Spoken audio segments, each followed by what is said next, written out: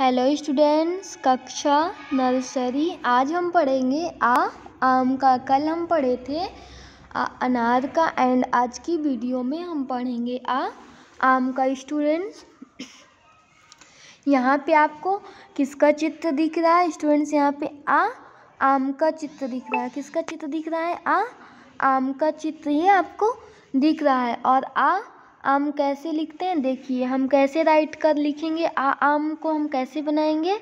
पहले एक लाइन खींचेंगे, फिर एक ऐसी लाइन खींचेंगे, नीचे साइड हम दो लाइन खींचेंगे, फिर ऐसे करेंगे, फिर ऐसे फिर ऐसे। ये बन गया आ, आम, बड़ा, आ। इसको क्या पढ़ेंगे? बड़ा, आ। और देखिए कैसे बनेगा? और देखिए, देखते हैं।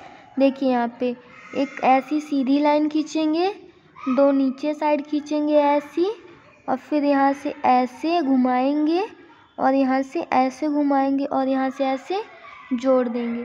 तो क्या बन गया? बड़ा आ आम का। और देखिए, ये एक सीधी लाइन, और दो नीचे साइड, और एक ऐसे, और एक ऐसे, और ये। ये क्या बन गया? बड़ा आ।